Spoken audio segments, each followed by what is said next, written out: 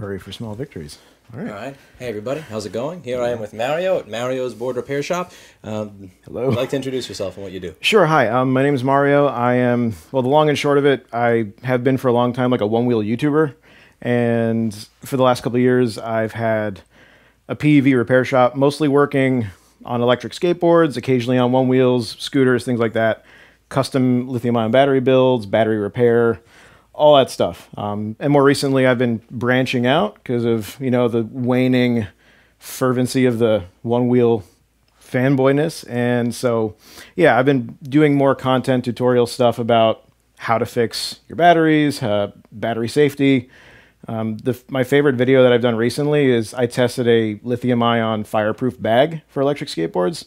So I put together a test battery and blew it up. And so it's a big old fire show. And I talk a lot about how battery fires happen, how you can prevent them, what to do, store it, all that stuff. You know, I've been really leaning because I have batteries everywhere and battery fires in New York City are a thing.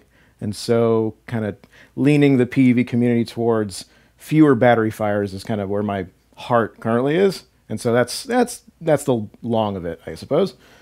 There was one comment you left that resonated with me that made me want to like just kind of visit a lot of these shops. And I mean, I just wanted to read it. It says, "I know Future Motion watches my videos. They've said so. And of the years I've been making videos in the one wheel trying to help the community, the disillusionment with the company has been painful. In their comments talking about someone in their garage making batteries not being safe, they were talking about people like me." Who started a repair business, a battery building business, and has found some modicum of success in doing so. I opened and repaired one wheel batteries. They're fine, middle of the road in craftsmanship. The packs I put into electric skateboards and scooters are much more robustly built, and I've spent the past two years teaching myself DC electrical theory and practicing the manual skills needed to work on PEVs like e skates, one wheels, and scooters and I am formally am I a formally educated engineer? No, but I'm not an idiot making batteries with a hammer and scotch tape. And this last release was the nail in the coffin for me with Future Motion. And for me, what, what resonated was when I started working on Apple products, I was living in, an, in a house that was filled with termites, and I was meeting people in a park in Herald Square. And with, and there was always this kind of lack of confidence from the customers because you know you're, you're a 19 year old kid in sweatpants and a t-shirt working out of a park so even now, Apple, you know, there are a lot of times where somebody at the Apple store will say, if somebody can do this, they're lying or they're going to screw you or it's not going to work or the screen they're putting in is wrong and it's going to mess up your machine. And it was real. Now it's different because at least I have a store, I have employees, I have over a thousand reviews on Google and all that. But back then, it was really aggravating when they would tell customers things that weren't true from that position of authority, where they're, and where they're saying, you know, if they say that they can fix your board. No, that's not going to work. Or if he replaces your screen, then it's going to fry your board. All this other type of stuff. Right. And it really pissed me off because it's like even 15 years later, you have companies that are denigrating the person working out of their garage. But oftentimes, the person working out of their garage figures things out that the people working in the in the prim and proper, pretty looking store never do. And Yeah. people from the independent repair community have found so many flaws on Apple products before they were even able to issue their own recalls on them. So it really pisses me off when they when they speak that way about people like you that are doing quality work out of their garage. I appreciate that. That that means a lot. Yeah. Um, I've been making one wheel videos, and I mean one wheel videos. That's it for about three years. Um, I first bought a one wheel XR in November 2018, and I rode it everywhere. It became a real positive effect on my mental health, being able to explore, write, all that stuff, and learning it, meeting people. It was it turned my life around, and so natural. And that's the experience for a lot of one wheel guys and girls. Um, and you know, so when you see this kind of behavior from a company, and then people who aren't one wheel folks ask, well, just you know, and it's you've brought this up, just don't buy it, just do this. And you know, there's one side of that where you know a few enthusiasts not buying a product might not sway the behavior of the company, but for a lot of people, and it's no small percentage of people, uh, you can't just sell your one wheel and say goodbye to the whole thing because they've met people. It has had a positive influence in their life. It's become part of their identity. And so, you know, that's with reference to the, the board itself. And so, you know, the last few years, the the modifying community has been kind of like at odds with it with Future Motion for a while. Um, my relationship with modifications a little bit tenuous, but up until just now, I've been able to repair my own boards. That is a XR. This is the one from 2018. That's the one that people were saying was more fixable than the GT. Right, and there are different versions of this. This is kind of a unicorn. From 2018, it was hardware revision 4208, and into the nitty gritty. Now, on that specific board, I've never modified it. I just replaced the battery, opened it up, built the exact same one with brand new cells. I even took all the old wires and put it into the new one, so I had to like less waste. And now it's got another four years of so of use, and there you go. Uh, they revised the XR several times, and the one that really became the most problematic was between hardware 4210 and 4211. And that was when they shifted how the BMS reads battery capacity, which removed the ability for people to install extended range larger batteries. And the very first thing that many people ran into were incompatible hardware errors. It was when the BMS had a different communication protocol to the motor controller. And randomly throughout its life, regardless of whether you modified the board or not, the BMS handshake with the ESC would just have a hiccup and the board wouldn't work anymore. One of the things I was hearing about this is that uh, tell me if this is uh, true is that on one of these models it would be it would be set so that it, it was only set to a certain amount of amp hours so it wasn't reading the voltage of the pack to, and saying you know once you get below this voltage turn it off it was just assuming that the pack is a certain amount of amp hours and once you go below that set of amp hours then it turns it off so even if you actually did put a larger battery in it it would still die at that because it was designed to you know only use one or two or five amp hours and then be be kaput. Correct. That pretty much started i can't say for certain because you know with different hardware revisions they had also different firmware revisions. So around 4210 4211 was when they implemented that. Um, and so when you check your battery level in the app it would have the 100 to 0% and it shifted how it read your battery percentage from voltage of the whole pack to amp hour consumption. And so if you put in and also in the latest revision you put in a new like a extended pack into a 4212 XR, you could have 580 watt hours worth of energy to use. It would only assume you're using 352 ish watt hours, counted by however they do, usually amp hour consumption. And once it reached that, you look at the app, it would say zero. The board would tilt all the way up and kind of drag the tail. It's what they call low battery pushback. It changes the default the default balancing position to mm-hmm. right about there, and it says you're done. You got to plug me in and charge me. So even if you added more battery, wouldn't really matter because as far as the board's concerned, you've used what the stock energy is and you're done. Got to plug it in and charge it. Um, so if you you wouldn't be able to use a larger battery or backpack battery or anything else because nothing. it was a specific set amount. Right. What, um, what is the point of that? I don't know. I mean, the the because that seems like it would be an amazing upsell. I mean, me like as some I have five batteries on my e-bike. It, it, it, it has a 300 mile range if I have no passenger, 200 with a passenger, and that's that's something that I'd be willing to pay for. That's I mean, I, I don't travel 300 miles on it regularly. I just wanted mm-hmm. to make it for the hell of it because it was cool. R- right. And that's um, the type of thing. If you're the type of person that's going to ride a one wheel device around instead of a car or just pedal a bicycle, you're probably the type of person that wants to be able to do that. Right. I mean, I'm very much in the vein of you bought it, you do whatever the hell you want with it, you break it, it's your problem. Fine. I've built custom electric skateboards for people that have ridden it into the ground and they brought it to me and say, Hi, it doesn't work anymore. And then when I open it up, I call them and I show them pictures. I'm like, You clearly did this, this, and this. And that's why, in my professional opinion, it's broken. And I tell them, So to fix it, it's got to do this, this, and this. I'll cover this because this isn't really like a replacement, but this I just have to like order everything fresh. And they always go, fine, I know what I did, just make it work again. Yeah. Right. And that's fine. Whether they add on extra lights or start paralleling crap into the main discharge of the battery, fine. As long as they didn't bring me like a pile of ashes. You know, it's very much like a person to person kind of thing. Like, fine, I get it. I'll fix it. Um, I wouldn't necessarily, and this is a very much a value judgment, say you can't do this to the thing that you bought that is no longer in my possession and it's yours. It seems to be that as the one wheel hardware revisions and firmware revisions went on, that's kind of the thing. We just don't want you to use outside of stock configuration. And that itself has been its own little discussion in the community. Um, and even so, like I said, I very rarely modify my boards. Um, but that one wheel, whether that was a new hardware revision or not, I could still fix it. The battery would run out, it would die at 60%. I'd figure the battery's worn out, I'll build a new one, and then I'll get X amount of years out of that one, and that's fine. The issue is, as you've heard, this is the GT.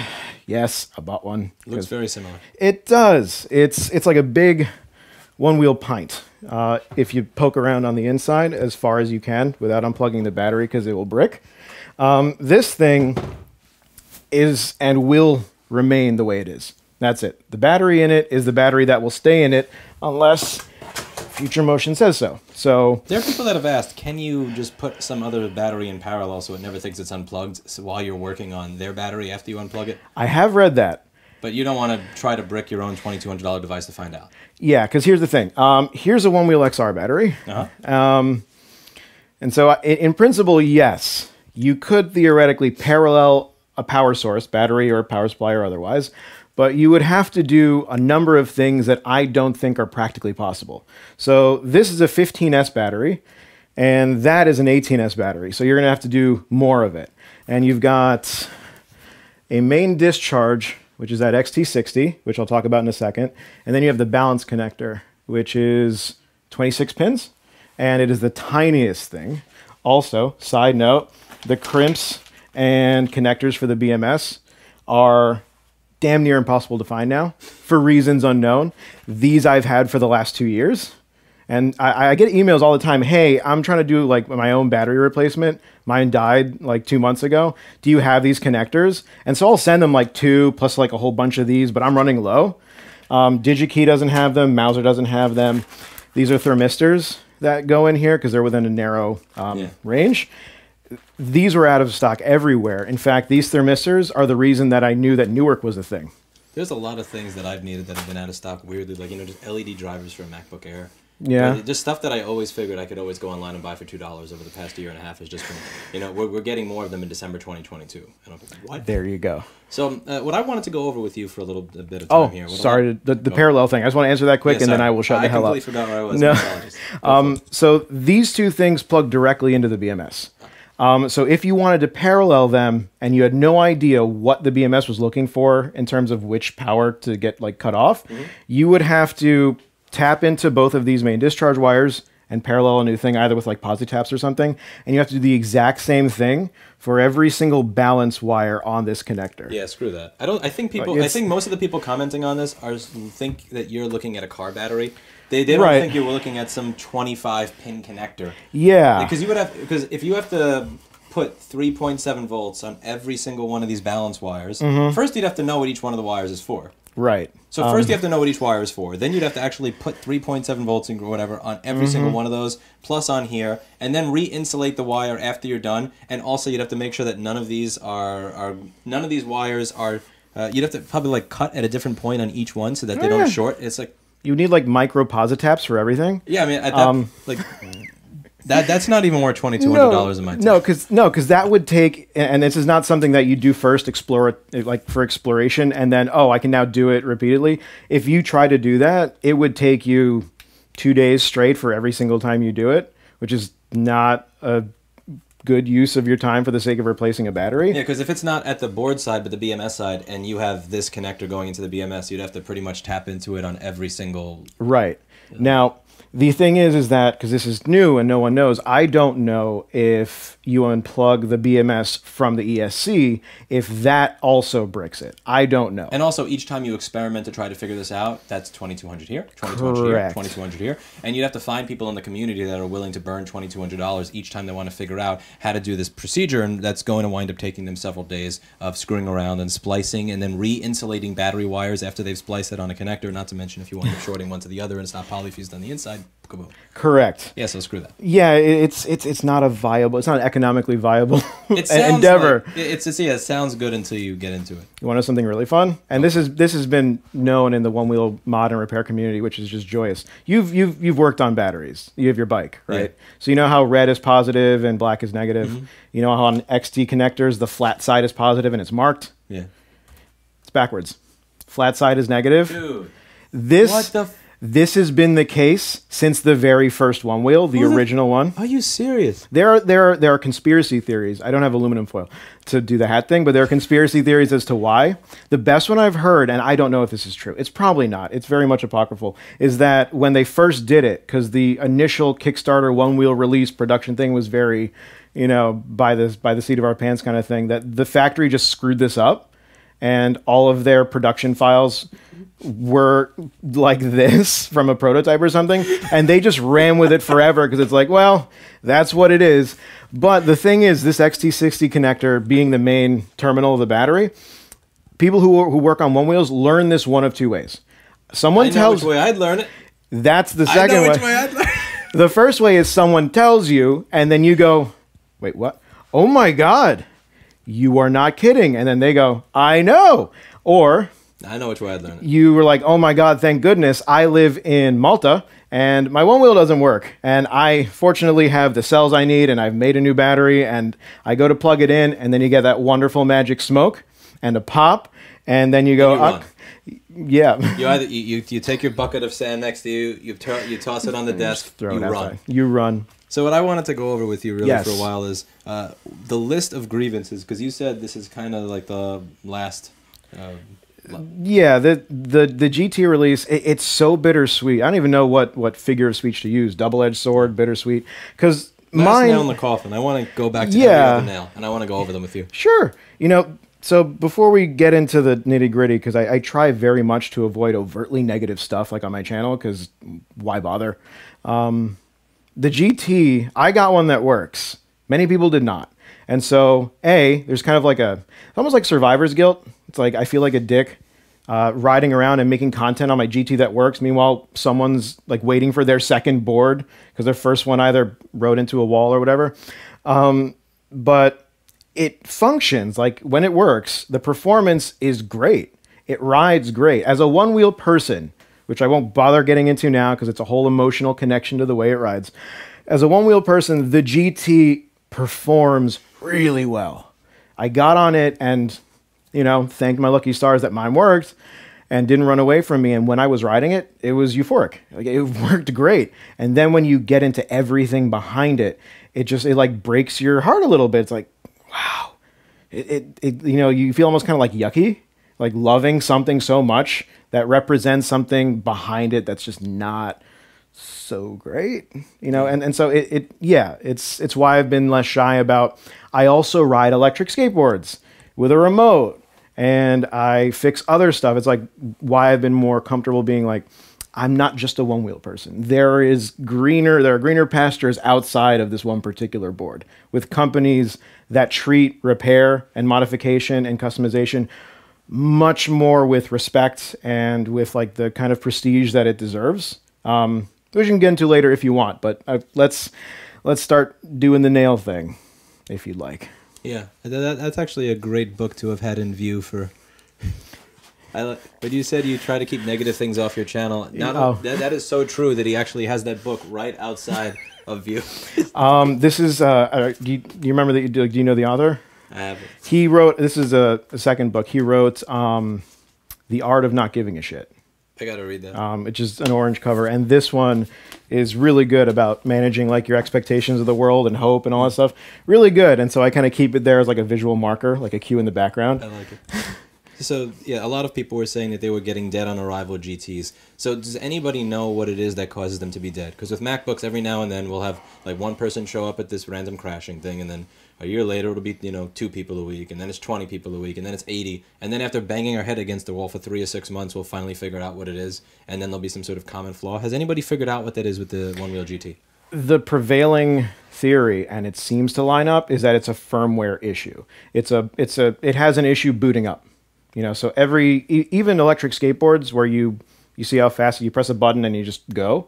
Um, there's a boot up sequence. And in the there's an open source motor controller that i put into most like high end skateboards. It itself has a boot up sequence and that can become corrupted. But the thing is with an open source motor controller like a VESC i'll like, i can explain that later but it's not worth getting into now. You can reflash the firmware. You can reflash the bootloader from a computer I can do that on my e-bike motor control. I can flash the firmware onto it, and I can edit everything on it if I want to. Exactly. Settings, current limits, all that stuff. You can do that on like the open Pit source. Con- exactly. Which is. That's where is the fun comes in. But. yeah. The that's one of the secret things, secret sauces of the one wheel is that it's not just a standard PID loop. It's it's like a dynamic PID loop that shifts and it uses current sensing to shift it to like it's it's insanely complex, which is why they ride the way they do. For those that don't Um, know what that is, that's kind of what controls the ride. Like you know how how does it accelerate and all that kind of fun stuff. Exactly. Um, so it seems to be that the DOA thing is a firmware thing, which and and so it just doesn't get through the boot up sequence, and so it shuts itself off. Which is why a lot of DOAs, you'll press the button, you'll see kind of a green flicker, and then it, it's gone. So why do you have to ship a thirty pound device all the way back to one service center instead of plug it into your computer and run some basic utility? Two reasons. Um, so one is um, it's one of those things like once you say it and you speak it out, it's like oh that makes sense. Um, you can't do an over the air update through the app because it just won't turn on. Um, and so they have, I mean, they have their own specialized jigs that they plug a controller into and reflash firmware. Um, so that's why they want you to send it back because it won't turn on. They'll pop the controller box open and blah, blah, blah, blah. My last two e-bike motor controllers have a USB to serial. It's like a USB to serial cable, and I plug it in, and then I can run the flashing software. Right. That would be the convenient way. So Um, wh- why doesn't? I don't know. Uh, I brought it out here. Where is it? Hold on. It's like a three hundred dollar motor controller, and it has a little USB to serial, and I can just plug it in. And, Oh yeah, that would be the ideal way to do it. I have an open source motor controller that I just tossed somewhere. Uh, well, here's so a, this doesn't have any of this, anything. No, so this is a this one's broken, but this is a, a dual. So this controls two motors, and there's a USB C port right there. And you if if it gets all screwed up, it's also you can. This is the Bluetooth module, so you could pop this thing out, and there's a UART port and some extra pins in there. So if the bootloader's screwed up and you can't even get into the app to just upload any or re-update anything, you can just use a, an ST link and reflash everything there. So there's that- no reflashing of anything on this. If it ever gets corrupted or anything, you have to send it back to the manufacturer. Correct. they no, make- no end user anything. Do they make the firmware available to any other repair shop or even author? Is there such thing as an authorized repair shop network or whatever, or is it literally just you have to send it back to this one service center if you have corrupt firmware? Yeah, that that last thing. That's even even if you're an international customer, Is there a port on this? Like even on the inside, if you open it up, I know there's probably not on the outside. Is there like a? Oh, you, there's no. yes, There's nothing. kind of. Kind. Okay. There- what kind. There. Okay, so on I haven't opened that one up, so I can't speak for the GT. Okay. But on the XR controller, there are ports, uh, not like a plug-in port. They're like pads, Mm-hmm. and so if you go back, if you care to, old Future Motion videos, like where Adam Savage toured their factory, you can see what the jigs look like. They custom make jigs to flash firmware, to test things, they put motors in it, do all that stuff. Very wonderful stuff. And so the the port on their controllers and BMSs are pads. And so you install it into the jig and you clamp it in and the jig itself has the pins that engage with the pads and that's how you interact with it. Um, no firmware has been made available, and et cetera, et cetera, et cetera. So if there's any software issue or the PCB breaks, it goes back. And if you live elsewhere outside of the US, you got to figure out how to do that effectively. And shipping this is not going to be fun, especially having to declare the battery. Yeah, we That's- can. Um, we can also, if you want, get into battery stuff, or if you have more nails you'd like to. I imagine I'd like to get into the battery stuff and the nails like 50-50, I'd say. Okay, so the battery thing is actually very simple. I kind of laid it out before you got here in a fit of starstruck panic. Um, so this is an XR battery that someone dropped off just to have re- like rebuilt, right? So not going to bother building a new one from scratch because it's easy and salvageable, all the other stuff in it. And the XR was made with two different kinds of cells. The Samsung 30Q, which for a long time was like the de jour cell to use in DIY electric skateboards. Very high output, but lower doesn't. Yeah, They go out of balance is easier and they don't last as long. Yeah, they're mildly inconsistent. And then they shifted to the Murata VTC6, which many people call the Sony VTC6, but Sony has long since sold off their cell division. So it was bought up by Murata, but it's these green cells. Same spec, 3 amp hours per cell. And then they have their current discharge rating, like max before they overheat and all that good stuff. So this is an older pink cell, Samsung 30Qs, and it's going to be rebuilt with VTC6s, which is what's in my XR now. And they work wonderfully. They're like magic. Um, not really. So this is an XR battery. All I did was cut the blue heat shrink, and it's foam, like high density closed cell foam. Fine. I'm to zoom in on this. Sure. I, sorry, I left the GT, this 32 pound monstrosity, right in his way. Hey, as long- as long as it doesn't uh, run into me, I'm good. we can talk about the the the ghosting issues too. That's a fun that's a fun topic. Okay, let's get this on the. All right. Yeah. So one wheel XR pack. Now, granted, this is the former flagship, Uh-huh. but looking at the batteries because I've rebuilt a couple for the Pint, which is their current gen.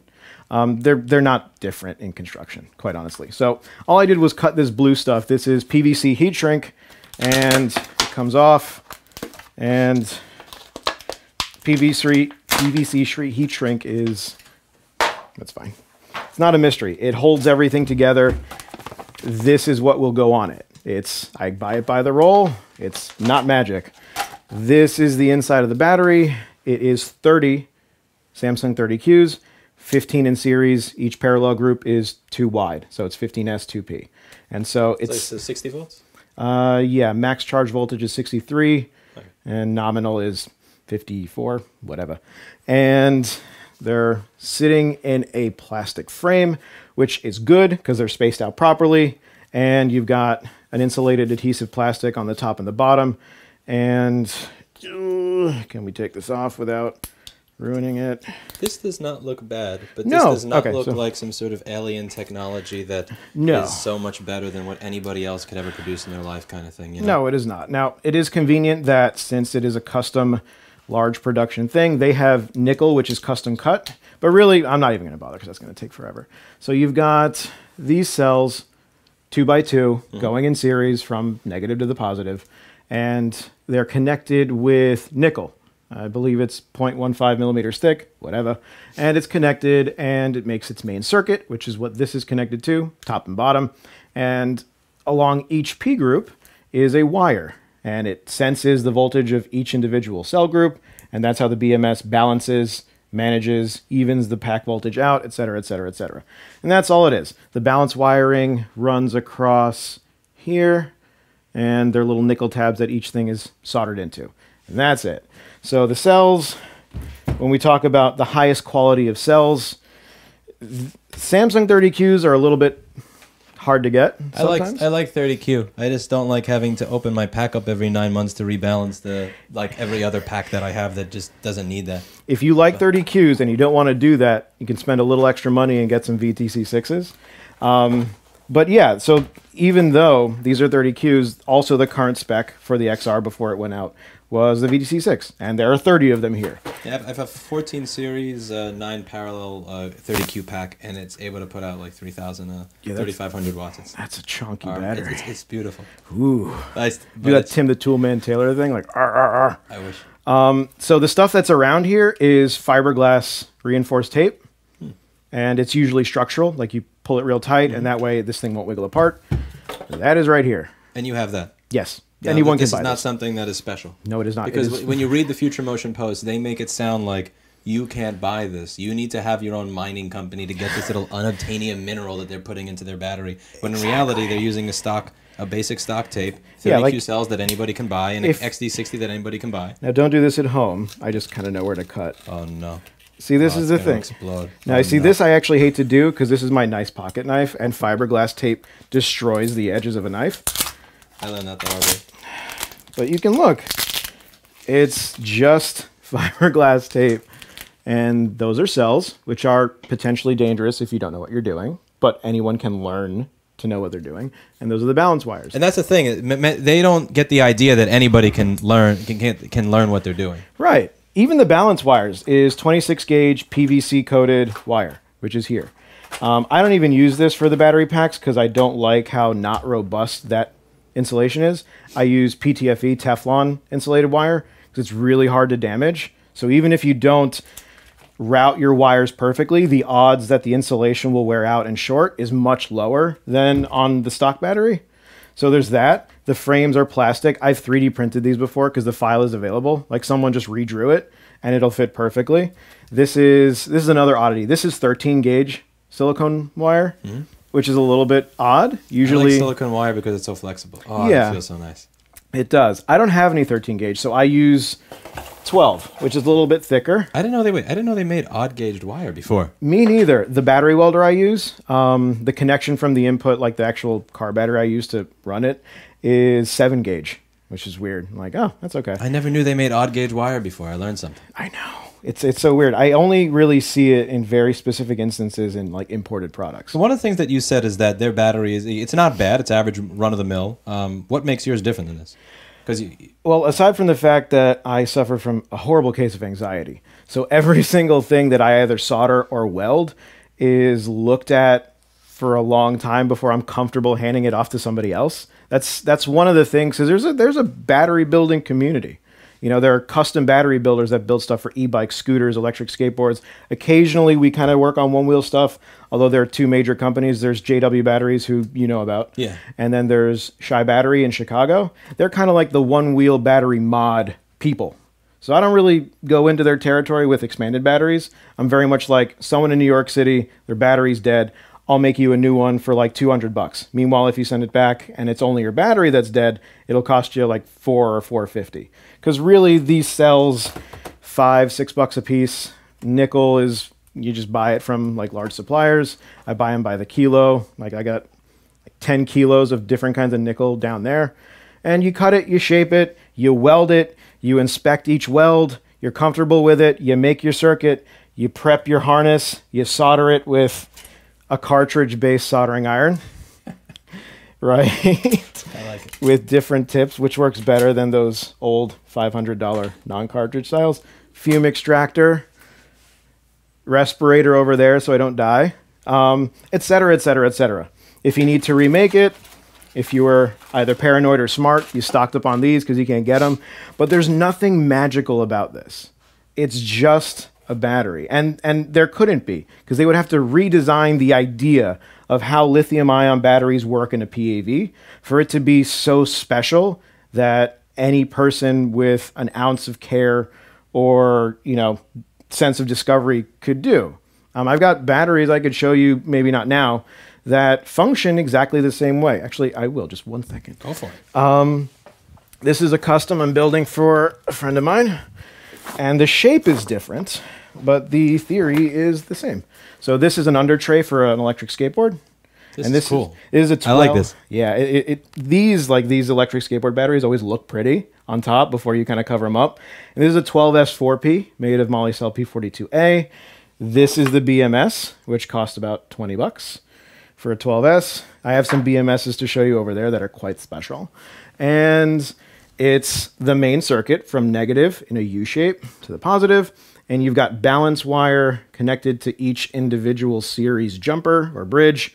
And there's a little foam between it because this is kind of mildly going to flex under the deck. You know, it's got like that little bounce to it. And this is the bounce connector. It will connect into this and discharge into the ESC remote, blah, blah, blah, blah, blah. And there you go. The, the theory behind that battery is damn near identical to every single lithium ion battery. They are just built the same. That because they're they cannot be built any other way if you're going to use these cylindrical lithium ion cells. That's just the reality of it. So there's my spiel. Also, XT60 connectors, which you can wire normally, or if you're building a one-wheel battery, in reverse. I would probably wire that the wrong way and let out smoke. I get because I would never imagine that you would get something like that wrong. Battery fires can be quite interesting to watch when they're outside. Less interesting to watch when they're inside. Even when they're outside, the smell is not particularly enjoyable. Oh yeah, you don't want to breathe that. yeah, yeah, no.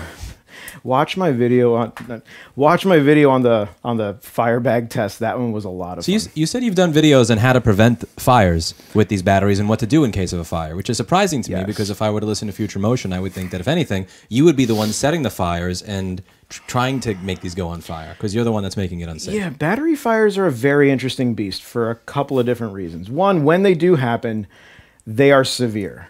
Really severe, extremely violent. A lot of folks who are into like hobbyist stuff have seen like lipo fires cuz and those are pretty easy to do. You poke a lipo battery through the pouch and it's gone. You have to do a lot more to a lithium ion battery made of cylindrical cells to get it to combust. The unfortunate thing is once you've reached that point, you can't stop it. You just can't. There's oxygen in the chemistry, and once that decomposes and the oxygen is freed, this could be in a vacuum and it will flame. So that's the scary part. But you do have to do a lot, a lot to get it to that point. The battery I blew up in testing that fireproof bag, I used cartridge heaters throughout it.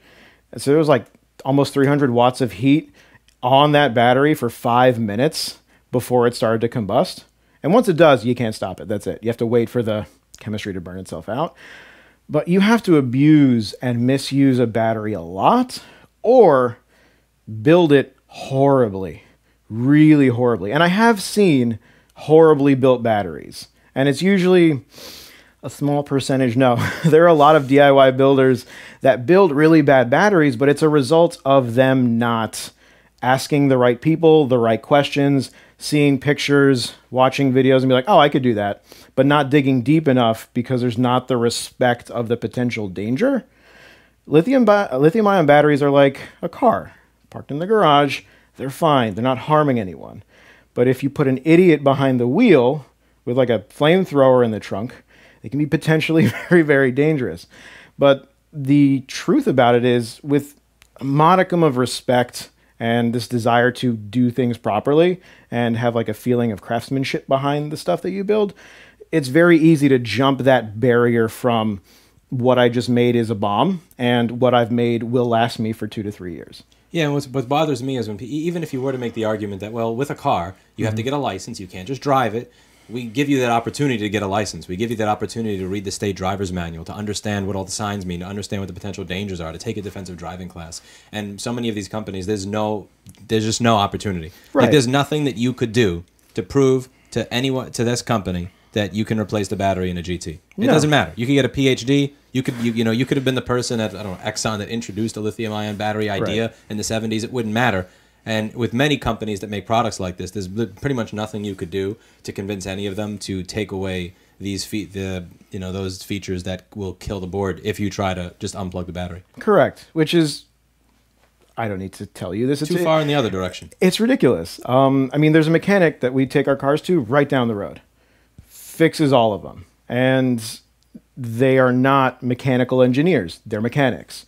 And, you know, one's ability to have the title of I'm an engineer and I've have this formal training, it, it doesn't preclude you from being any kind of mechanic. You know, what makes a mechanic a really good mechanic is experience, the stuff that they've seen. You know, when you take your car to someone, you're like, I don't know what the hell this noise, is. and they go, Oh yeah, I see that all the time. They fix it, you're on your way. You know, it's that experience of of just being hands-on with something in a mechanical way that that gives you the expertise to look at something that's broken and know what the hell to do about it. And the same thing goes with building a battery. The fact that they're all constructed under the same theory means that once you really internalize how batteries are built and the safety procedures and dealing with insulation and trying to foresee how this thing is going to be abused, once you really get that in the back of your head, any battery configuration falls under the same umbrella. Like I could make a one wheel battery as safe as I can make an e bike battery, as safe as I can make an electric skateboard battery. You know, because the principles of insulation, knowing where to insulate, where abrasion is going to happen, where vibration would enhance the, the abrasion, these are just things you do, like like you learn by collaborating with people, seeing how it's done, trying it, screwing it up, blah blah blah blah blah. I destroyed a lot of batteries before I ever built anything that I felt comfortable another person having. Yeah, know? opening up the EM3EV battery that I looked at for my own bike was amazing. You had li- liquid proofing, you had um, nice. uh, there was foam and padding on all the sides, numerous different layers, different temperature sensors everywhere, mm-hmm. polyfuses on all the different rows of cells, a polyfuse on the output after that, just mm-hmm. because they're paranoid about what could happen. Yeah, it's and then the other batteries you open were just a bunch of cells that are held together with a roll of tape, and that's it. Yeah, and and and you can open up a battery and it makes sense to you. Like you can see, oh, that's obviously garbage or you can look at this and go, "Oh, I, that everything that they did there makes sense." I've it's, learned to open up every single battery to any electric uh, bike thing or anything that I get before I start using it now. Careful with the higher voltages. I've been bitten a couple times there because was, I bought from companies that sold that said we're going to sell you this cell if you pay an additional two or four hundred dollars. Thank you uh, and they wind up. But then when you actually get it, it's a different cell entirely, and it's a no-name generic brand, which is yeah, that's that's rough. Especially when they charge you for it. Oh yeah, that that that's a big no-no. Um, I've had instances where a customer will request a certain battery cell, and either I can't get it or I don't want to use it. Um, like I had asked for Samsung 35e, and what I got was Whatever. Smegma, whatever that. I don't know. You did not But it wasn't a Samsung 35e. So I mean, yeah. So the I mean, the thing is when when that happens to most battery builders, like small, local, really you know, salt of the earth kind of battery builders, uh, they'll often then have a conversation. Like if you request a 35e, they'll say, "Well, the 35e by today's standards kind of sucks. Um, you should go with the Molicel M35A.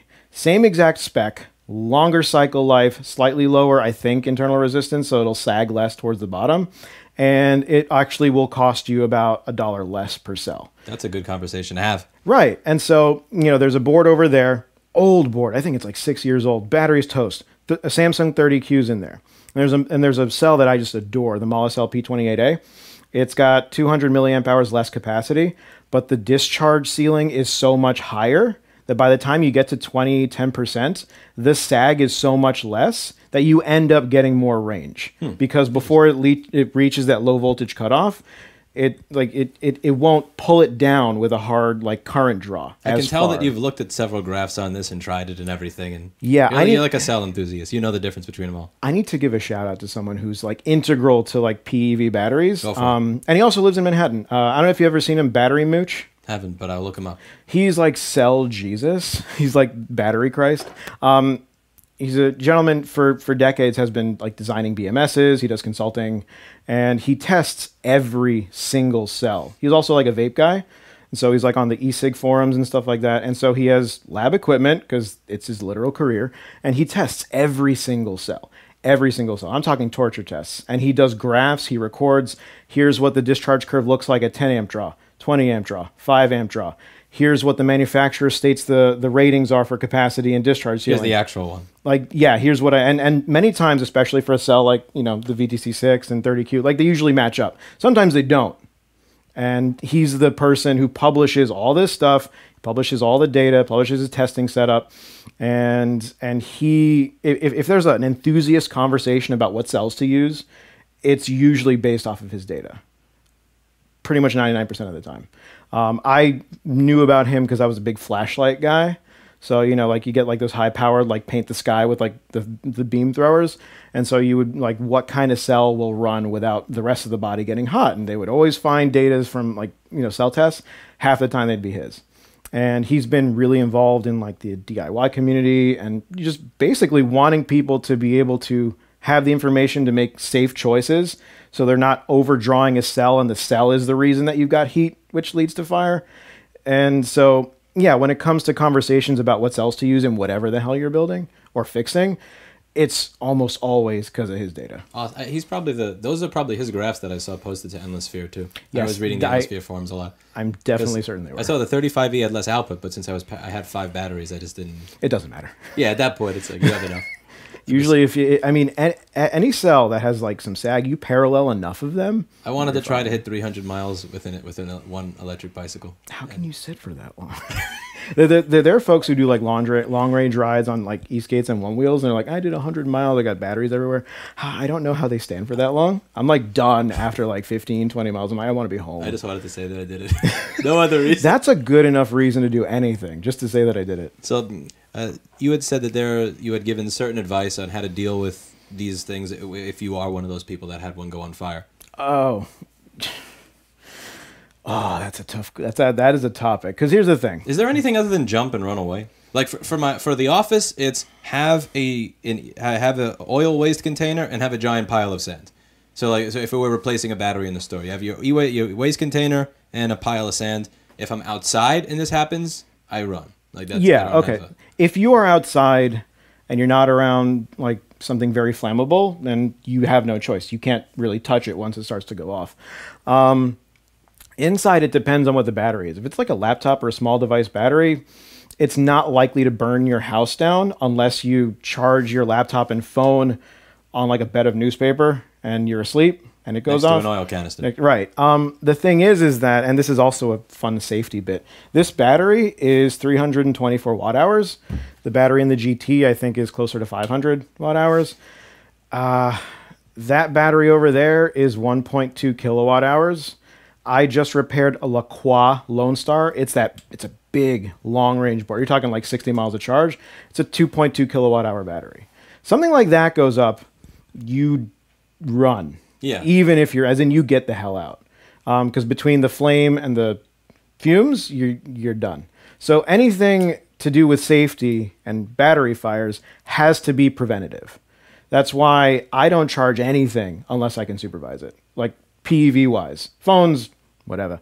But if I'm charging my board, one wheel or other, if I'm not around or awake, I don't plug it in. That's it. Full stop. Um, some things you can charge overnight because the systems are just so tried and tested that they're fine, most likely. But anxiety, not for me. If I'm not around, I don't charge it. I also keep everything in here. And when I'm doing like real serious work on something that's a little bit sketchy, the door's open. And if anything doesn't look good or there's a pop, which sucks when something like sounds like a pop, but it's not. You know, I've had things like fall in the distance, and I'm like, "Oh crap, is that the battery I'm working on?" And I, I it's like, you know, like like that that wide-eyed, yeah, yeah. So the, I, I have magnets here for when I'm like holding nickel on. Sometimes they do uh, like a that, and I didn't know it was that, and then my brain's just like Uh, after wait. my experience with the Unit Pack power set, where I I where saw that pa- Yeah, I paid the extra for 35e, and what I got was again, I don't know, smegma, whatever. Every time I'd hear, like, if I heard a car make a noise outside, I'd turn around and go, "Is that my?" right? Is that my bike? Yeah, it's just that. Yeah, so it, it has to be preventative. If you live in an apartment building and you're going to have a PEV with a large battery and you're not 100% certain that it was from a really good manufacturer, you have to have a plan of where you're going to stash it and charge it. I charged it uh, locked to a gate outside with an extent, uh, a heavy duty extension cord that was about 25 feet going down my window. was it like waterproof?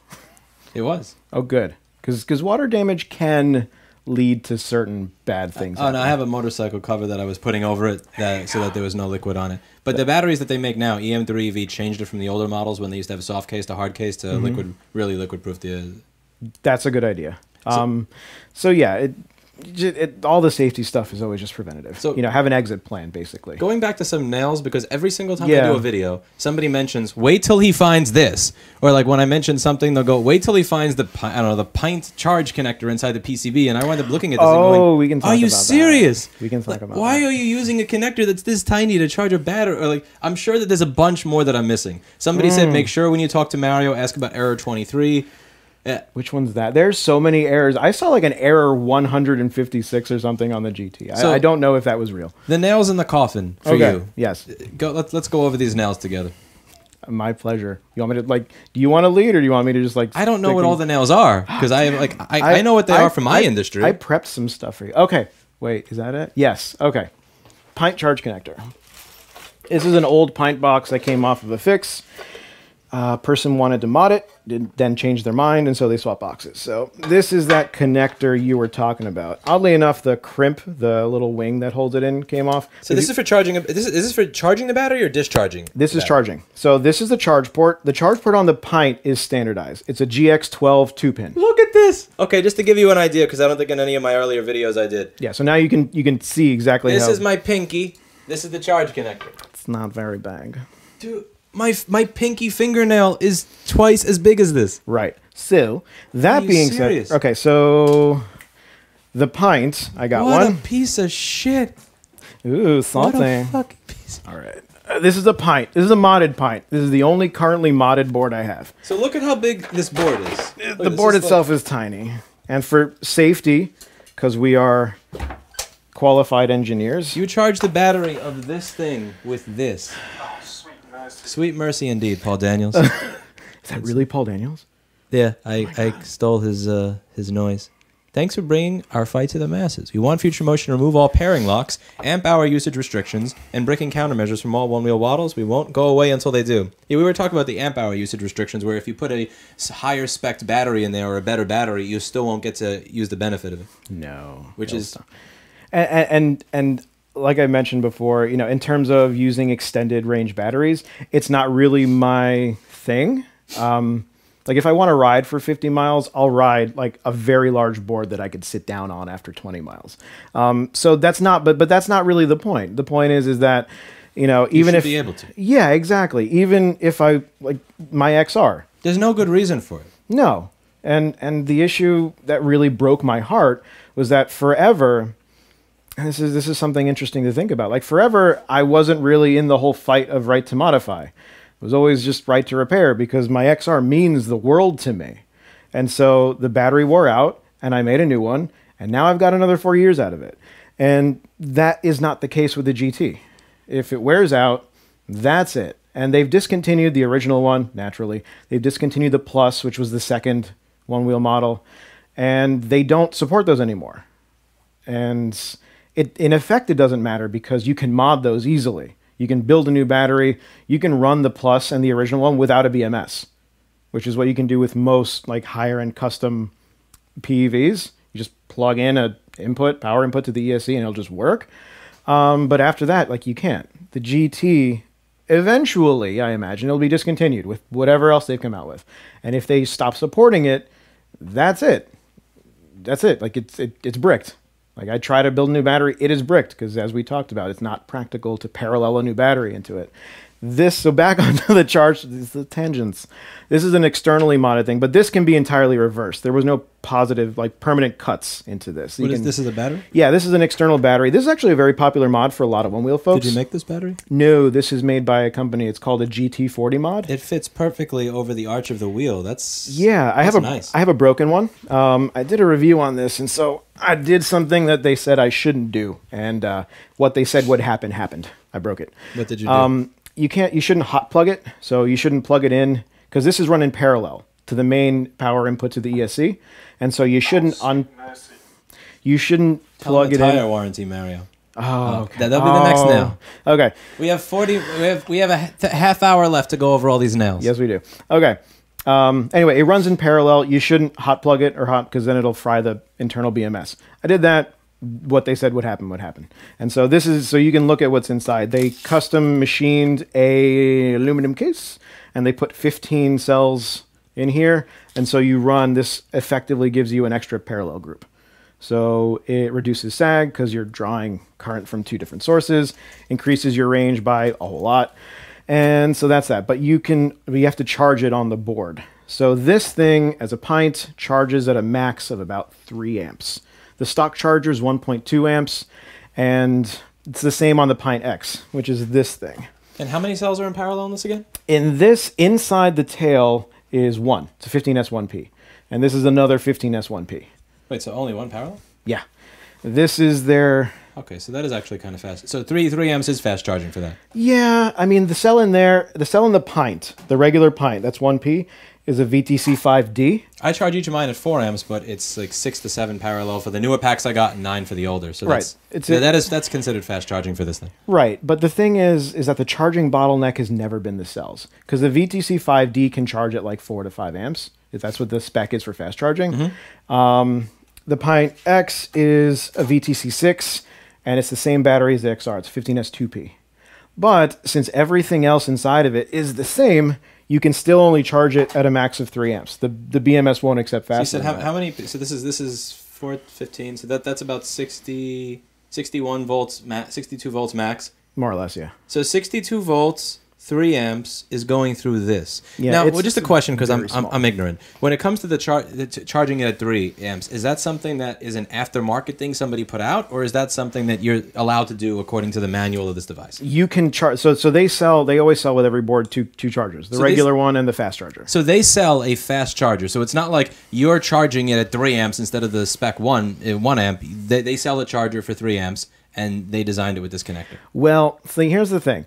Um, the I need that. Those things are hard to find. I, I see. No, that's you can't just throw one wheel parts everywhere. This thing's probably worth like a hundred dollars because no one has been able to tell me the part number of this. So I need this.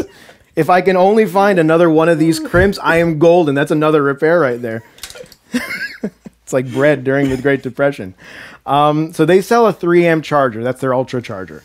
There are aft- aftermarket chargers that charge at 3.5 amps, which is a little bit faster. And I don't know if 3 amps will eventually burn this out or if 3.5 is just too far because I haven't tested it yet. I can because I could hook it up, like short it through the power supply and just run 3 amps and see what it does after like 10 hours and then do it at 3.5 and see if that's actually the ceiling. But I don't wanna because I need this. That's a laptop fan connector. If it's literally a laptop fan That looks connectors, like- I will take all the laptop fans you have. No, like this is. I, I- I get that somebody said that this connector is spec for three amps, but mm-hmm. looking at it, I would never see that. That is my completely not, not barely graduated high school, not engineer point of view. This looks like it's for a laptop fan. Yeah. Because I said that that was looks like an A1181 inverter board connector. This actually looks smaller than an A1181 inverter board connector. So that that's that that's a grievance that people have with this. And Yeah. have you had to replace any of those, or has that been part? Of, did you um, primarily focus on batteries, or have you had? I, I really primarily focus on batteries uh, because the issue with repairing one wheels is that if you're an independent shop and you want to fix a one wheel, you only have like three real options. If there's a PCB issue, you can send it back to Future Motion and they'll replace the PCB, whether it's a BMS or the motor controller. If you don't do that, uh, there's a second option. I think there may be, I only know of three people on Earth that do component level repair of Future Motion PCBs.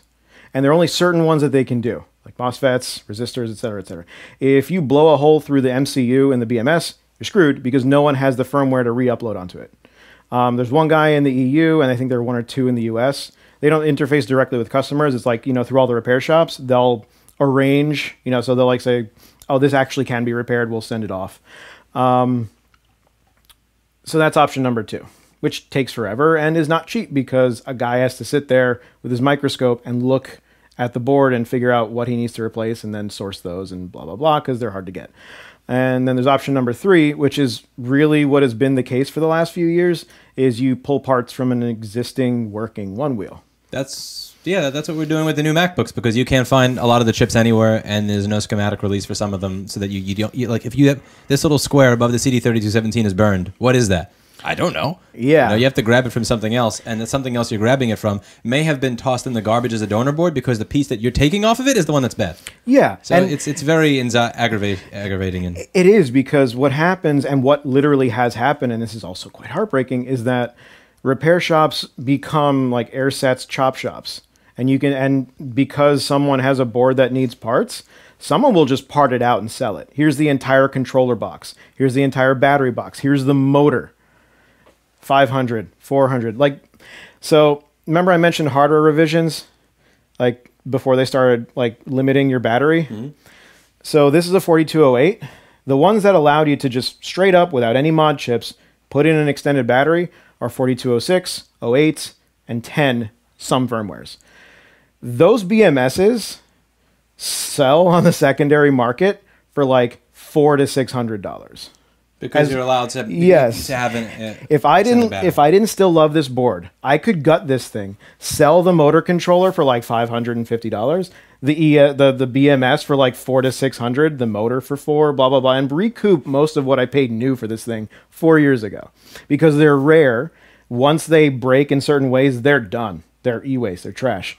Um, and uh, naturally, you can't buy the PCB. And they ended up, especially with the pint, serializing the BMS and controller. so if so if the BMS burns out on this, I have to find someone who chopped up their pint and buy a new BMS and the matching serialized controller. So you can't. What, what does the BMS have to do with the controller? Like I don't understand because the a battery and a controller just seems like totally separate things. Mm. Another compli See, that's the thing is that I can't give you like a straight answer.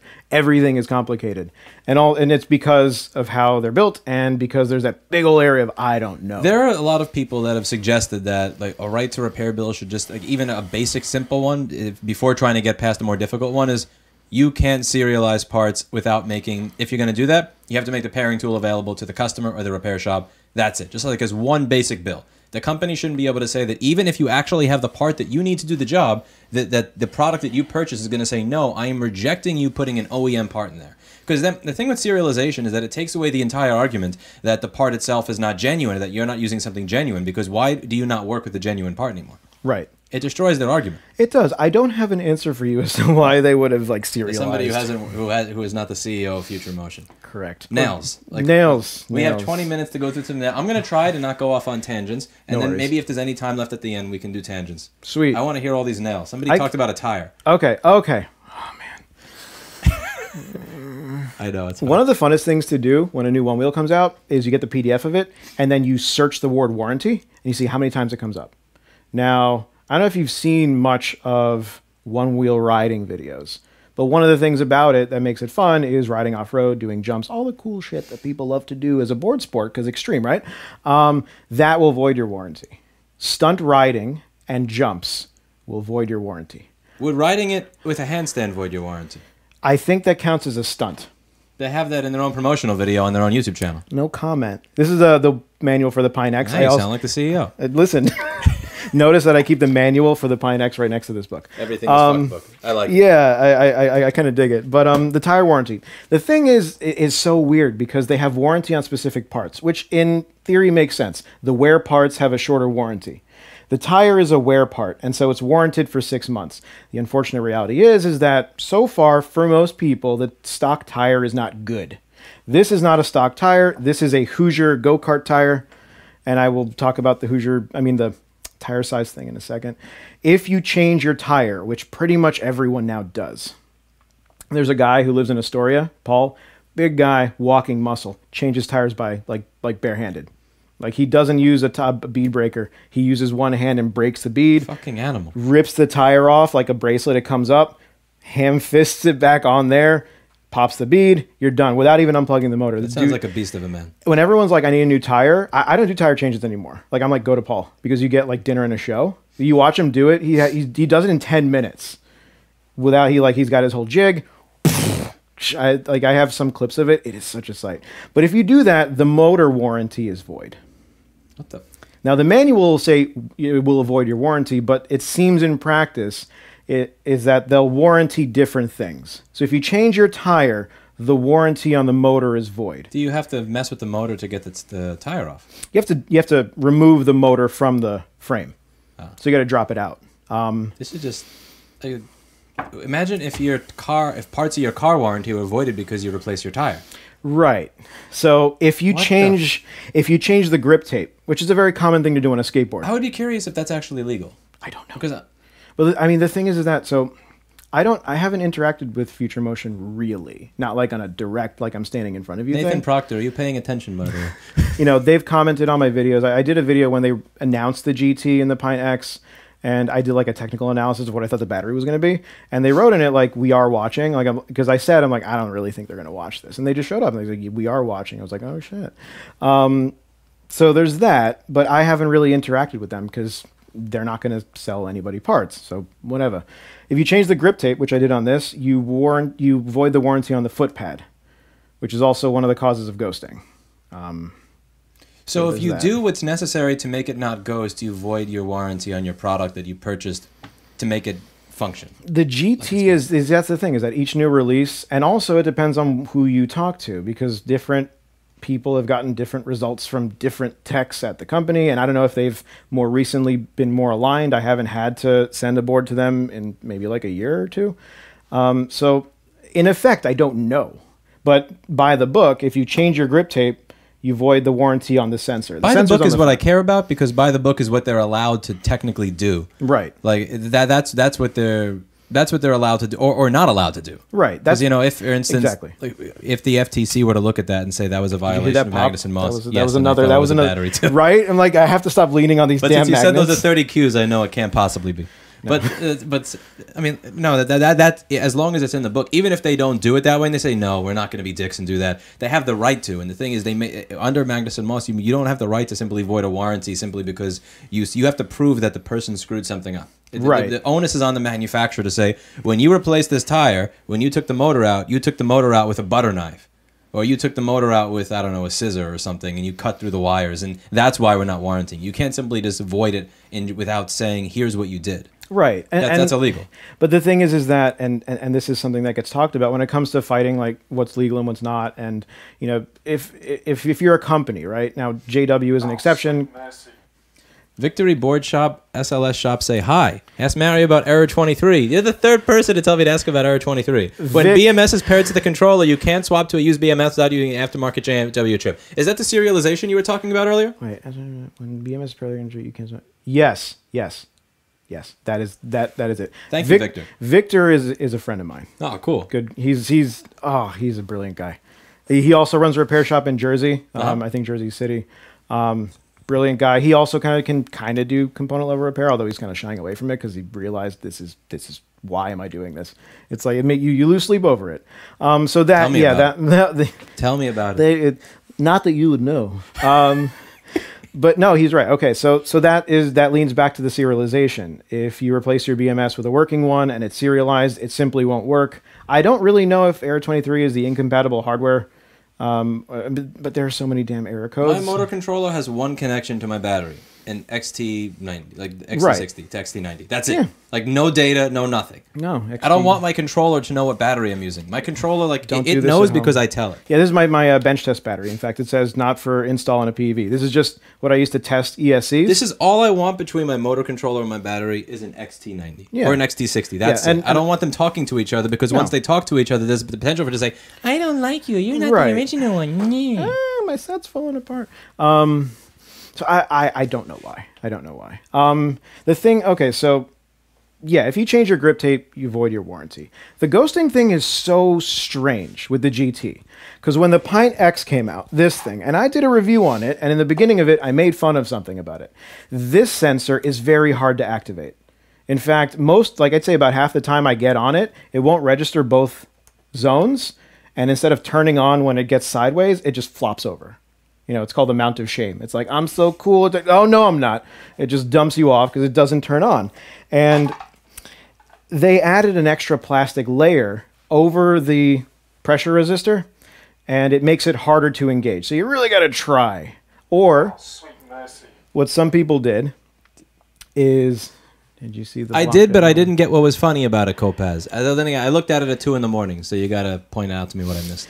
Um, so this is hard to engage. And, thi- and the Pint X rarely ever ghosts. I've actually not seen an example of one of these ghost riding off. Because the people that were commenting said, like, technically ghosting is a problem with every one of these. It's just the extent to which it ghosts in the GT is so much greater than all the other ones. That's when it's a problem. It's- It's not like if it ghosts, it just has to be recalled. But the new one goes so much more than the old one that that's the issue. So Future Motion has said that the ghosting issue is related to the footpad sensor, which I believe because that's really what happens. The sensor sticks. It sticks shut.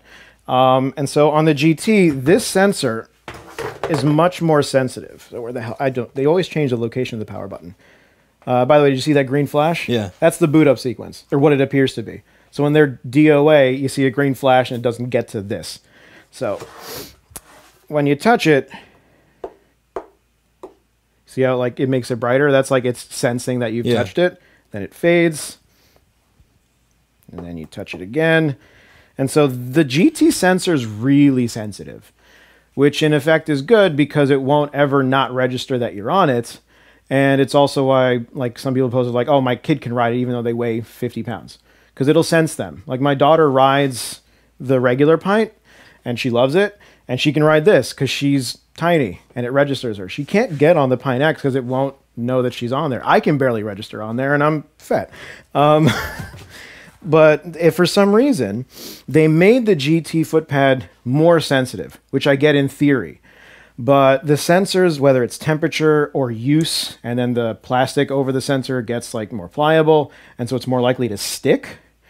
Um, that seems to be the primary cause of it. I have seen an instance where you over torque the motor, and even if the sensor is disengaged and it shows as it's disengaged, it'll stop and then it'll just start going in reverse for no reason, which I assume is also now a firmware issue. That's like a use case that the motor controller perceives that it wasn't prepared for, and so it reacts in a very strange way.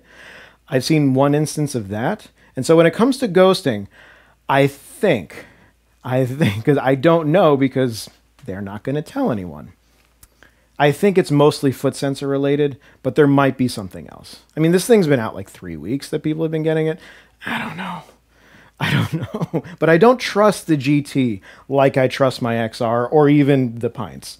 I just don't. You know, uh, when I take the GT out, having a great time because it works, and when I and when I know I have to like get off and either rest, I will now go somewhere away from as many people as I can and not near the highway, and then I will heel lift and make sure it turns the hell off. On the block diagram, current from the power supply goes to a buck converter, then to a microcontroller, BLDC driving the motor. In reality, you have a battery current going to parallel to buck converter. Ah. You expected me to see that at 2 in the morning? That, that's that's a lot. That's Yeah. a lot between a battery and an ESC. Um, Now. now, damn We went over the serialized BMS, yeah, we did the warranty. which is totally total Apple bullshit, by the way. We, We did the, you, you, you, you change your tire. Um, oh, so on the GT, so this, every one wheel up until the GT has had a standardized rim size based on a go kart tire. And there are go kart tires of all different sizes, but it was a six inch rim. And so that's why on the V1, even though the rim shape was different, to the Plus, to the XR, even to the Pint, these are all go kart tires. Standard. Hoosier, Burris, Vega, Unili is the company that they use now. They're like a Taiwanese larger manufacturer of budget tires. Uh-huh. Um, I mean, this tire wasn't cheap. It was like eighty dollars, but you're only buying one. But it's a really good tire. It's soft. The shape is nice, and it does change because it's the only point of contact between you and the ground. It changes how the board rides. So most people who want something different out of their board will just change the tire. Magic. I love this thing now, right? Um, on the GT, so this is a five. Is this a six inch rim? Five and a half inch rim? I don't know. The tire size is on the tire. Uh, six inch rim. There you go. So it's actually the same size bead as the XR. Standard. Want find a go kart tire, generic or branded? Doesn't matter. The GT has a rim size that's a half an inch bigger. That's a troll question.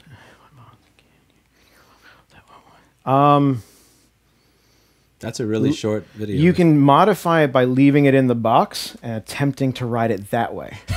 I actually have a shirt. I'm, I'm, wearing this shirt for a specific reason. I don't know if you know Boosted, but I, I using um, a cricket that I got my for my wife for her 40th birthday. I made a shirt. It's someone falling off their one wheel, and underneath it says user error. Because my joke that I tell people is like, no matter what happens, it's user error. Because if you don't use it, there are no errors, and that's that's. but anyway, the GT has a rim size that is a half an inch bigger, and that's not a thing in go karts at all. So this tire, no six inch standard go kart tire, will fit on the GT. So is this a case where the only tire that fits on it is one that's made by them? Currently, yes. Now, of course, the aftermarket. They came up with their own standard. They did. What's the benefit? How does this benefit the end user? Is there a particular reason? Is it a traction thing? Is it a better for off road? Is there anything about that tire being that size that makes it better for the user? No. In fact, I mean, it's it, it depends on who you are. Um, there are no good reasons in practice for it that I can find. I have to qualify it that I can find. There are some instances where that particular rim size is a little worse, and it has to do with the sidewall height. And so, depending on your inflation pressure, like this has a slightly taller sidewall of tire between ground and rim. And so, if you have a low tire pressure and you ride off a curb and the tire squishes on impact, you have a shorter distance to the rim edge there, which could potentially cause more damage as the tire squishes. Um, so that's the that's a potentially negative effect. Positive reason for that, I don't know. I do not know. That's just a thing that happened. Now, naturally, because the one wheel world is so devout and large, companies will come out with tires that fit it. It's just a lame standard to. Oh, put out there. absolutely. It is. It lame is very much a word that works for many of the things that we have come to learn about. So since I have ten minutes of your time before you have to get on with chores, uh, we can we now can stretch it a little bit. Let's say twenty. It, it- I mean, I don't want to like keep you here and be like you're in my. I got time now. Sweet. Okay. Damn. Uh, the GT thing. We kind of talked about most of it. I mean, the, the the tire on it is is kind of gross. It's not terrible, but that's the thing is that they've offered two different tire choices: a slick, which is what I prefer, and a treaded. Treaded's fine. It seems to be much harder, like the rubber, or at least the way it's constructed, like the carcass of it, is much harder. And a lot of the folks that are really into trail riding, which is why you would want a treaded tire, don't love it because you have to run it at damn near empty, mm-hmm. like five psi. I ride I ride that at 18 psi, um, which is low for me. Like on this, this is at like 25 psi, and that thing's 10 psi lower because that makes it feel relatively the same. It's a hard, kind of weird, gross tire. So in terms of just performance, I don't know why that tire's on it because you there are so many examples of straight up better tires. But it's also a wear part. And the other thing is that the tires are made by Unili, and this became a thing when the pint was released, Unily has a slightly higher defect rate than a higher end company because it's a cheaper tire. Um, I've had three Unily tires come across me that were defective, as in there's a lump, there's a bulge. So whenever you ride it, every rotation, you feel like that bump, bump, bump, bump, bump, bump, bump.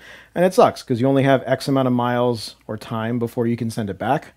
But if you don't want to void your motor warranty, they have to change it to another Unily tire. which sucks. Because Yeah. people were complaining about Unily tires in the They're in not- the comments other. They're not the worst, but they're not very good. That doesn't sound like an endorsement. No. I've never put another Unily tire on a one wheel. The the old stock tire was a Vega. Um, and they're they're very particular. Most people hate them because they're very flat and hard. Some people love them because they're flat. You know, so there are some trick riders that I know. My buddy Dave, he loves the Vegas. He'll take the ones that people rip off of their one wheel. He's like, just give it to me. I don't care. Sweet mercy. Talk about the GT Stator Ridge disallowing the XR hub. Oh, that's a complicated one. Have you heard about this? Um, no. All right. So the actual measurements of the hub are not that different. So the GT hub and the XR hub are, as far as can be seen, the same. Wattage rating is the same, you know, and they very much underrate the wattage. Um, there was a DIY one wheel that I ended up giving away using a Future Motion hub, and I pumped like 2,200 watts into that thing before it started to even get warm. The to to their credit, those motors are legitimate, but they changed the machining on the GT hub just slightly because you know you have the stator, which is that you know with all the coils, and then you've got the rotor, which is what the tire's mounted to, and that's the hub. You can pull the you can pull the rotor off of a XR or a pint and swap them because they're machined to the exact same axle. So you know you could like I could pull this rotor off of here and I could put it on that and put a certain tire and it'll fit and it'll just work. Sweet. You can't do that on that, even though the spec of the motor is the same. They machine the axle and the plates that mount as you slide into the axle just barely enough that it won't fit. So what some folks have done is they they figured I could put an XR rotor onto the stator of the GT and now I can use whatever tire I want because the rim size is what it used to be. But you can't unless you machine either a shim to get it to fit or you machine the axle to fit. But it's such a small change. I, I, I don't remember exactly what the dimensions are, but it's just a lip. It's like a, a machined in lip. That's it. There's nothing structural about it because it's maybe like a fraction of a millimeter.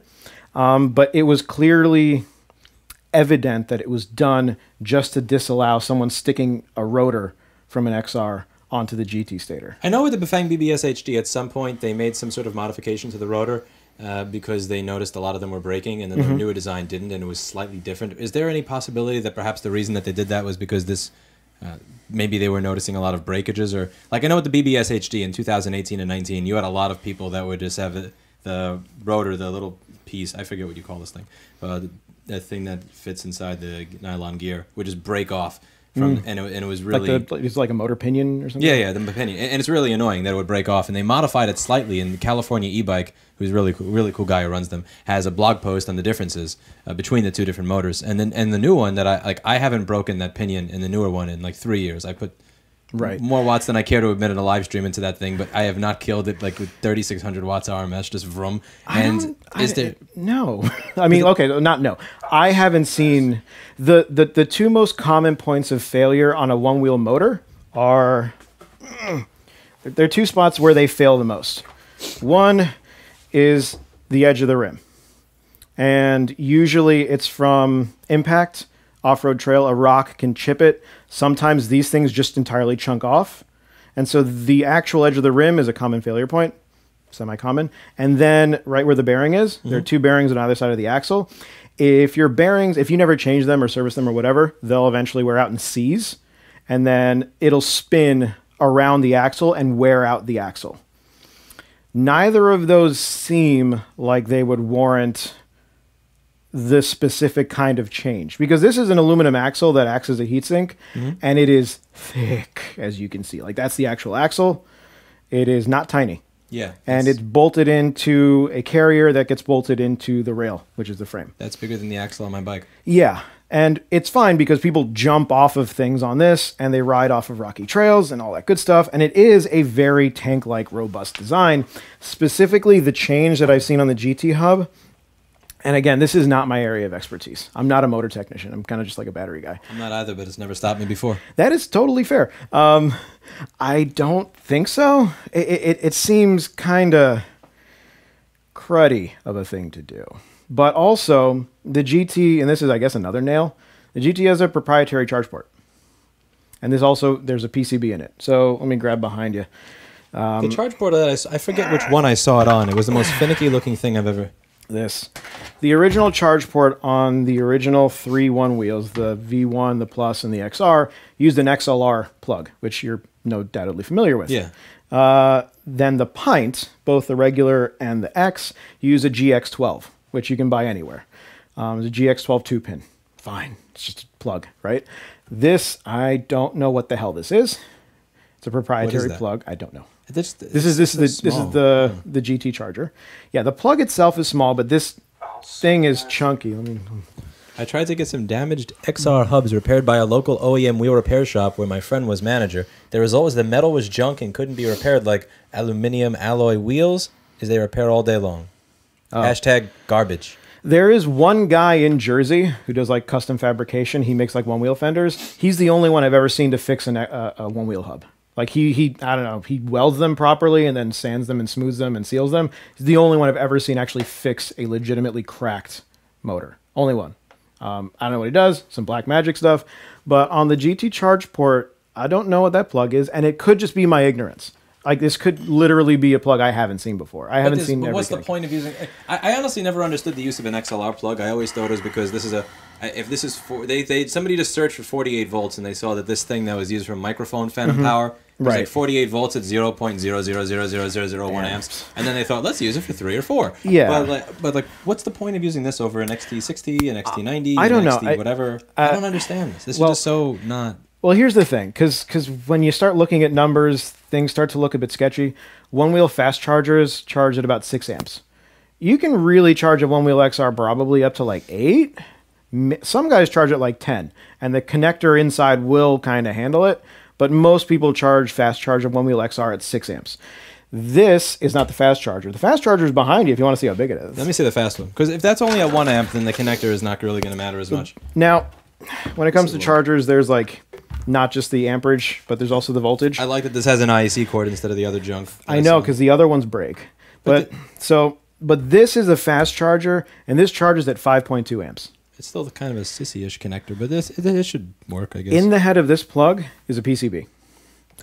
No one's entirely sure what it does. Why is there a PCB in the plug? I don't know. So this is something I saw in one of the GT groups, and a couple of the guys from Stoke Life, Stoke Life Service cut this open and looked at it and looked at the parts on it. Have you discussed about the fact that F Future Motion wires its XT60 in reverse? Yes. Yes, that was at the very beginning. That we were talking so about the two fun. ways that your average technician figures out that that's the case. That was a moment for me because that was me telling Louis Rossmann, "Hey, by the way, look at this." Which everyone who works on one wheels and their batteries has that moment.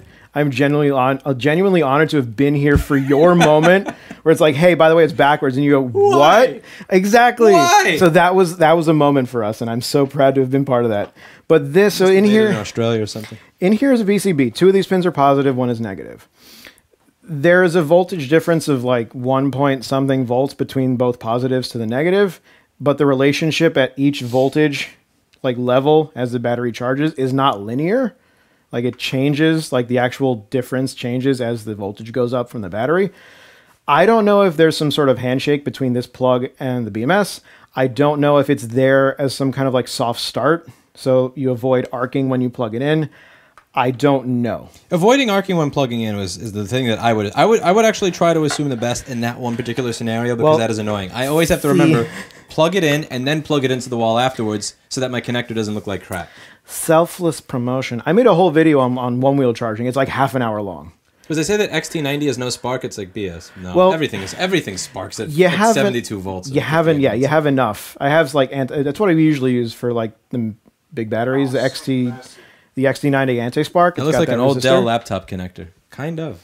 Oh my god! Imagine if like the secret to our aftermarket chargers lied in like a Dell a Dell computer charger from ten years ago. Um, okay, so the one wheel XR sparks when you plug it in. The one wheel pint does not. And one thing that I have noticed is that the charge port for the XR and the previous models go through the motor controller.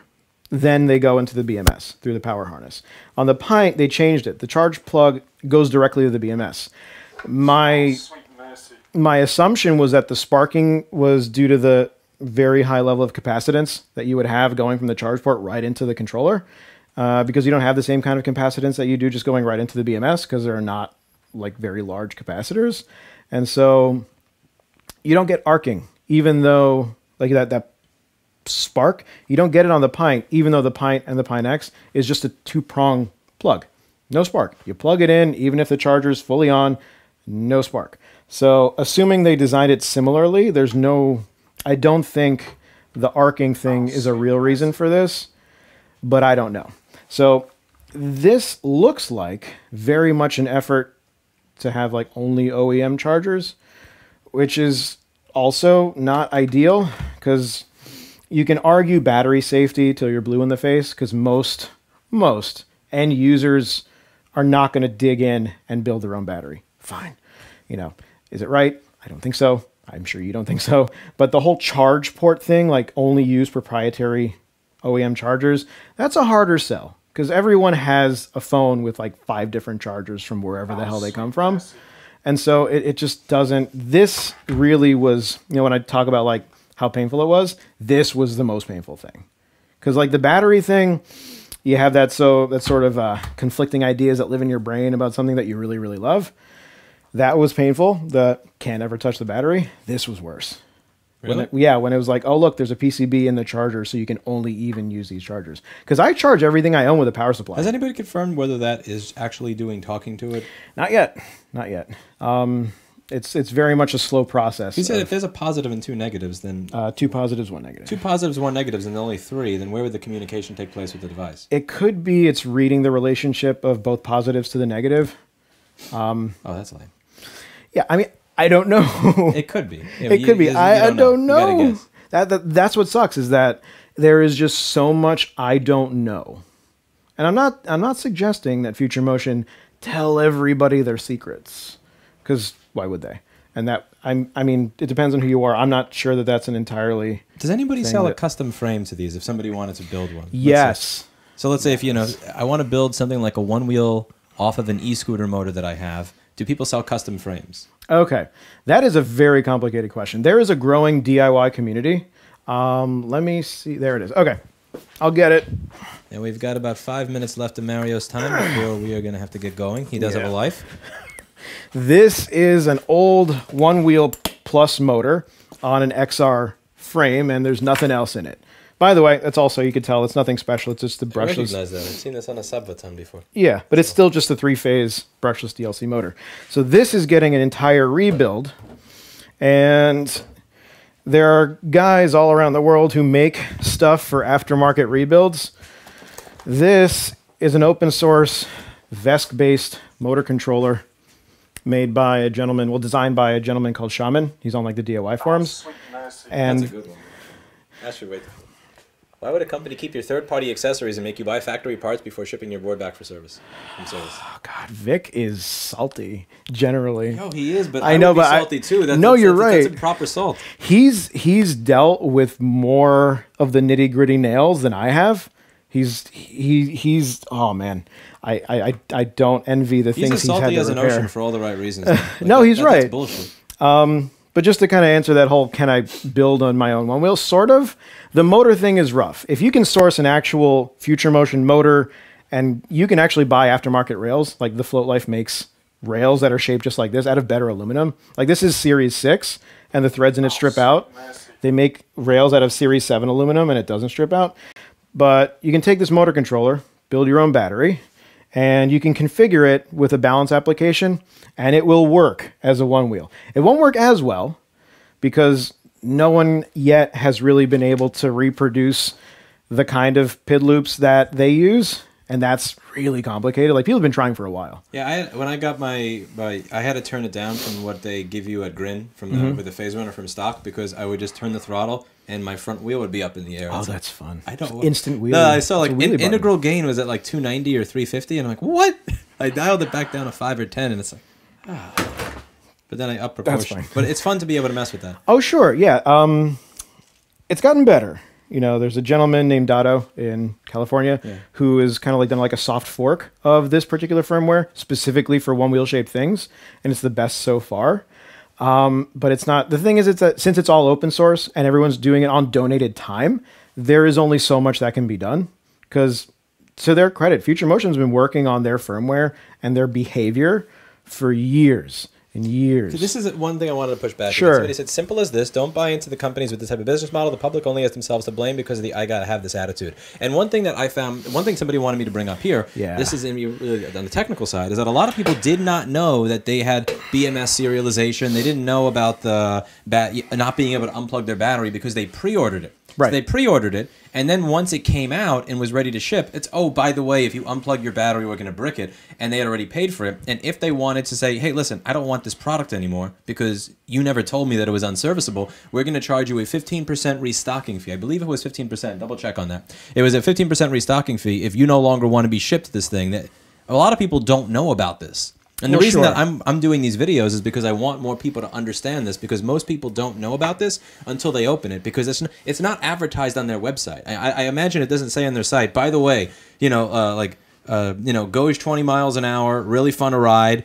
You cannot service your battery in what you own. Like it's it's it's just not there, and Right. the awareness needs to be uh, put out there, and that's what I'm trying to do here. Right, and and this is another thing that's that that bittersweet kind of thing. Um, like my whole channel for the last two ish, three ish years has been entirely about the one wheel, and so you know, someone to say to me, "Well, if you don't agree with it and you don't like it, don't buy it."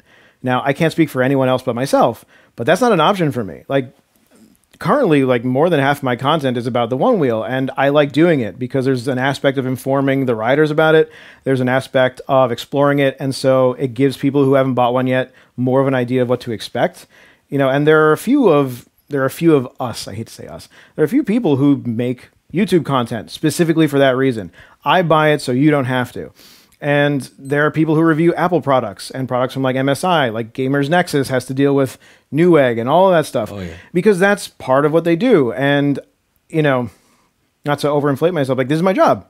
Between the repair shop and my channel, this is my job now. And so me buying a GT is a business expense because the videos that come out of it funnel into everything that I do. And it's also part of what I want to do. I like testing stuff. Um, I mean, I made and blew up a battery in Jersey, and that took weeks to design, like that actual test, just to test a safety bag.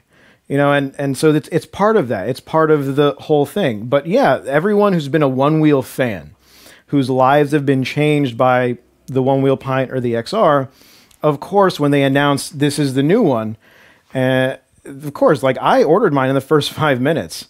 We all, you know, we're chatting online. Launch event happens. We're all hyped because we're riding boards. We're all in that little culture. And yeah, we all first five minutes, we all ordered it. And so the stuff that happens naturally is all stuff that any early adopter will run into because they're not going to why would they advertise by the way this will brick if you unplug the battery by the way it's a proprietary charger Eh, like no you don't know that until people have gotten it they've started exploring it like one person who i met over the weekend at eastgate con is the guy who first found that if you unplug the battery, it bricks. It was that guy. I talked to him in Vegas, and he's like, "Yeah, so that board's gone, and so it's been, it's it's just there. It doesn't work. Like that's it. It's bricked, full stop." And he was the guy that first learned it, but he had to buy it and he had to figure it out. And so now everyone knows that because one person did it. And there are people that have said that perhaps a balance, even before you get right to repair, would be at the very least if you make a product and this that is this unrepairable, that you have to disclose it to the customer in your advertising materials. Like, hey, by the way, you can't replace the battery on this, and if you try, it'll break. By the way, you can't. You know, the, the controller is serialized to the BMS. Here are all the list of things that you cannot replace because it will brick your device. That would be nice. That seems like a fair compromise because they don't advertise this. So there's no way for you to know. Mm-hmm. Many people, there's no way to know until it's too late. Yeah. I mean, I won't hold my breath.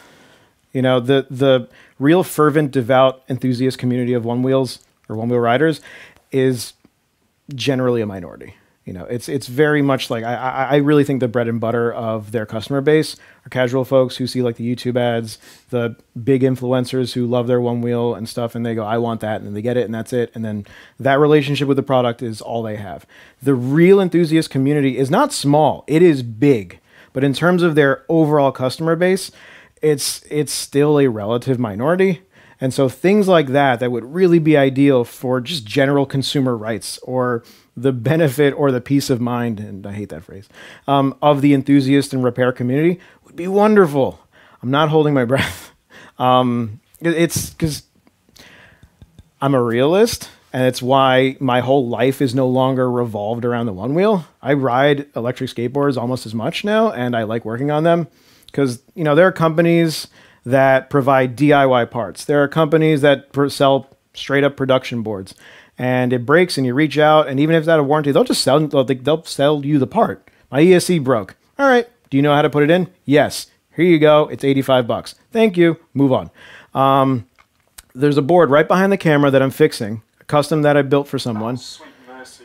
The remote, the handheld remote, because these skates use like a handheld remote, is made by Hoyt Street out in Portland, and they sell those remotes to like everyone who does DIY. And even like the high end skateboards start using this remote because it's awesome. And they will sell you every single goddamn part. They will sell you the guts of it, they'll sell you the shell, they'll sell you just the receiver. I sent back a remote two days later, I just got a shipping label. Yeah, we fixed it. Here you go. Um, they'll tell you how to fix it. Like a, an issue came up with like the soldering on a couple of the legs for the throttle, and people are having issues. They published a guide on how to fix it if you wanted to do it, just to reflow the solder on the legs and secure it with epoxy.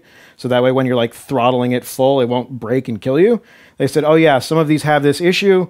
Uh, if you can fix it, here's the thing how to fix it. If not, just send it back and we'll just do it and we'll get it back in a couple of days.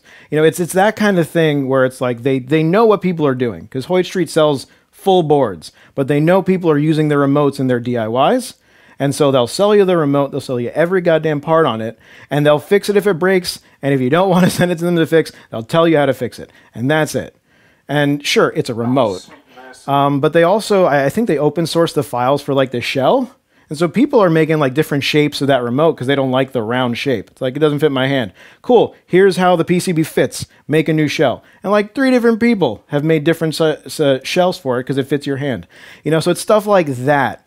Um, there's a board by Lacroix, ca- Canadian company, very expensive.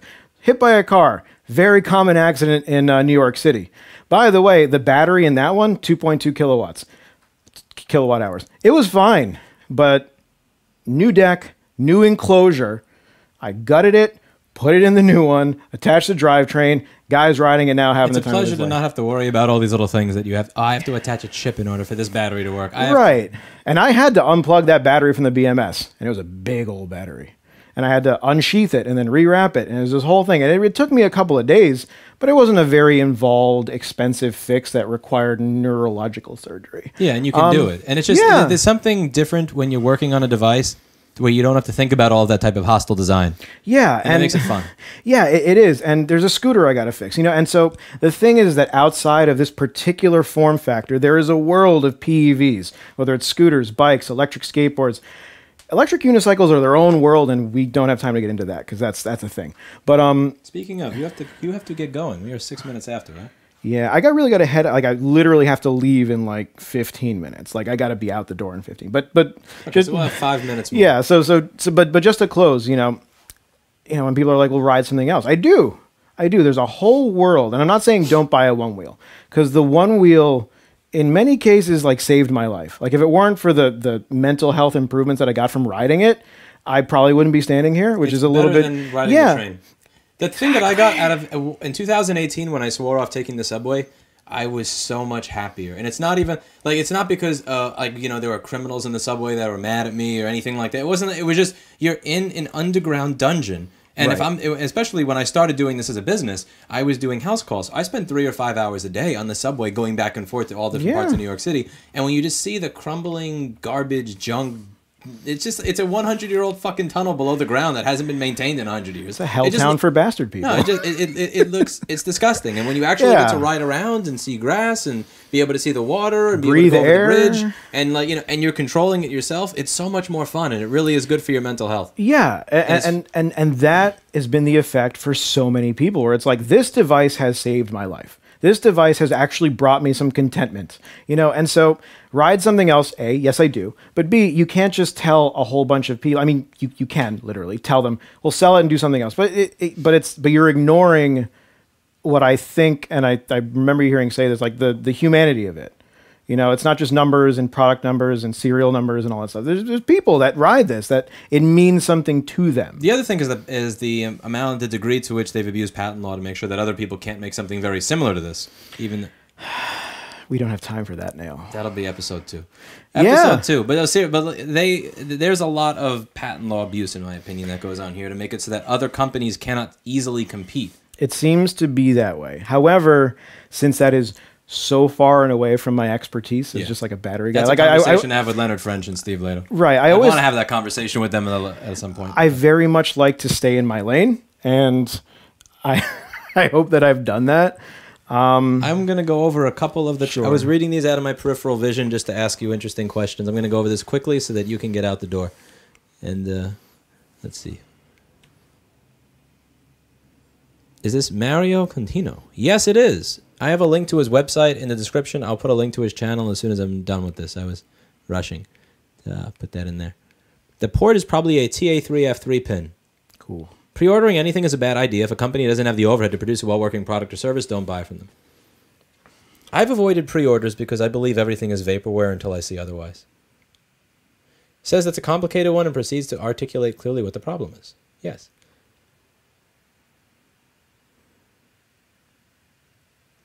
Hmm. Any interesting questions left here? I, I mean, we we really kind of covered a lot. Hmm. All right. Right. Yeah, so that that's about that. I will. Yeah, just check out his channel. Is it, your channel is just your name, right? Yeah, Mario Contino. There's Mario Contino on YouTube. Thank you very much for taking the time. This Thank is a bunch you. of fun. Yeah, I, it was an absolute pleasure and an honor. Honestly, It's it's Thank you. beautiful to see that there are companies out there that actually try to make the lives of independent technicians even harder than the people who work on Apple products. I didn't think that was possible. Wow. Mm, what are you gonna do? Yeah. Well, you have a good day. You as well. Thank you so much, and thank you all. Honestly.